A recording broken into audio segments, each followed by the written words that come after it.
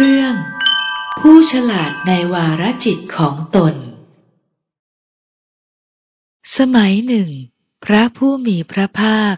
ประทับอยู่ณพระวิหารเชตวัน อารามของท่านอนาถบินทิกะเศรษฐี ใกล้พระนครสาวัตถี ณที่นั้นแหลพระผู้มีพระภาค ตรัสเรียกภิกษุทั้งหลายว่า ดูกระภิกษุทั้งหลาย ภิกษุเหล่านั้น ทูลรับพระผู้มีพระภาคแล้ว พระผู้มีพระภาคได้ตรัสว่า ดูกระภิกษุทั้งหลาย หากว่าภิกษุไม่เป็นผู้ฉลาดในวาระจิตของผู้อื่นไซร้เมื่อเป็นเช่นนั้น เธอทั้งหลายพึงศึกษาว่า เราทั้งหลาย จักเป็นผู้ฉลาดในวาระจิตของตน ดูกระภิกษุทั้งหลาย เธอทั้งหลายพึงศึกษาอย่างนี้แลดูกระภิกษุทั้งหลาย ภิกษุย่อมเป็นผู้ฉลาดในวาระจิตของตนอย่างไร ดูกระภิกษุทั้งหลาย เปรียบเหมือนสตรี หรือบุรุษที่เป็นหนุ่มสาว มีปกติชอบแต่งตัว ส่องดูเงาหน้าของตนในคันช่อง อันบริสุทธิ์หมดจด หรือในภาชนะน้ำอันใส ถ้าเห็นทุลีหรือจุดดำที่หน้านั้น ก็พยายามเพื่อขจัดทุลีหรือจุดดำนั้นเสีย หากว่าเราไม่เห็นทุลีหรือจุดดำที่หน้านั้น ก็ย่อมดีใจ มีความดำริอันบริบูรณ์ ด้วยเหตุนั้นแลว่า เป็นลาบของเราหนอ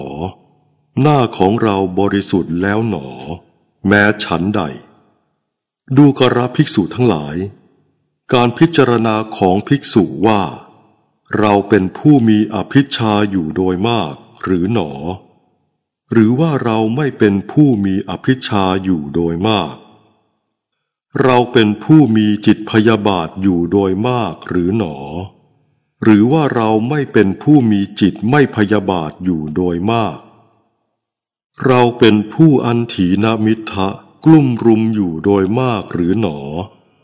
หรือว่าเราเป็นผู้ปราศจากถีนมิทะอยู่โดยมาก เราเป็นผู้ฟุ้งซ่านอยู่โดยมากหรือหนอ หรือว่าเราเป็นผู้ไม่ฟุ้งซ่านอยู่โดยมาก เราเป็นผู้มีความสงสัยอยู่โดยมากหรือหนอ หรือว่าเราเป็นผู้ข้ามพ้นความสงสัยได้โดยมาก เราเป็นผู้โกรธอยู่โดยมากหรือหนอ หรือว่าเราเป็นผู้ไม่โกรธอยู่โดยมาก เราเป็นผู้มีจิตเศร้าหมองอยู่โดยมากหรือหนอ หรือว่าเราเป็นผู้มีจิตไม่เศร้าหมองอยู่โดยมาก เราเป็นผู้มีกายอันปรารบแรงกล้าอยู่โดยมากหรือหนอ หรือว่าเราเป็นผู้มีกายอันมิได้ปรารบแรงกล้าอยู่โดยมาก เราเป็นผู้เกียจคร้านอยู่โดยมากหรือหนอ หรือว่าเราเป็นผู้ปรารบความเพียรอยู่โดยมาก เราเป็นผู้มีจิตไม่ตั้งมั่นอยู่โดยมากหรือหนอ หรือว่าเราเป็นผู้มีจิตตั้งมั่นอยู่โดยมาก ดังนี้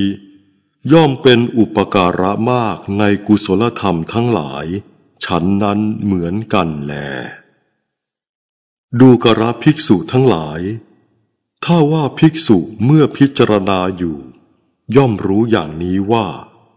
เราเป็นผู้มีอภิชาอยู่โดยมาก เป็นผู้มีจิตพยาบาทอยู่โดยมาก เป็นผู้อันถีนมิทะกลุ่มรุมอยู่โดยมาก เป็นผู้ฟุ้งซ่านอยู่โดยมาก เป็นผู้มีความสงสัยอยู่โดยมาก เป็นผู้มีความโกรธอยู่โดยมาก เป็นผู้มีจิตเศร้าหมองอยู่โดยมาก เป็นผู้มีกายอันปรารบแรงกล้าอยู่โดยมาก เป็นผู้เกียจคร้านอยู่โดยมาก เป็นผู้มีจิตไม่ตั้งมั่นอยู่โดยมาก ดังนี้ไซภิกษุนั้นควรทำความพอใจ ความพยายาม ความอุตสาหะ ความขมักเขม้น ความไม่ท้อถอย สติและสัมปชัญญะให้มีประมาณยิ่ง เพื่อละธรรมทั้งหลายที่เป็นบาปอากุศลเหล่านั้น ดูกระภิกษุทั้งหลาย เปรียบเหมือนบุคคล ผู้มีผ้าอันไฟไหม้ หรือมีศีรษะอันไฟไหม้ พึงทำความพอใจ ความพยายาม ความอุตสาหะ ความขมักเขม้น ความไม่ท้อถอย สติและสัมปชัญญะให้มีประมาณยิ่ง เพื่อดับไฟไหม้ผ้า หรือไฟไหม้ศีรษะนั้น ฉันใด ภิกษุนั้นก็พึงทำความพอใจ ความพยายาม ความอุตสาหะ ความขมักเขม้น ความไม่ท้อถอย สติและสัมปชัญญะ ให้มีประมาณยิ่ง เพื่อละธรรมทั้งหลาย ที่เป็นบาปเป็นอกุศลเหล่านั้น ฉันนั้นเหมือนกัน ดูกระภิกษุทั้งหลาย ก็ท่าว่าภิกษุเมื่อพิจารณาอยู่ ย่อมรู้อย่างนี้ว่า เราเป็นผู้ไม่มีอภิชาอยู่โดยมาก เป็นผู้มีจิตไม่พยาบาทอยู่โดยมาก เป็นผู้ปราศจากถีนมิทะอยู่โดยมาก เป็นผู้ไม่ฟุ้งซ่านอยู่โดยมาก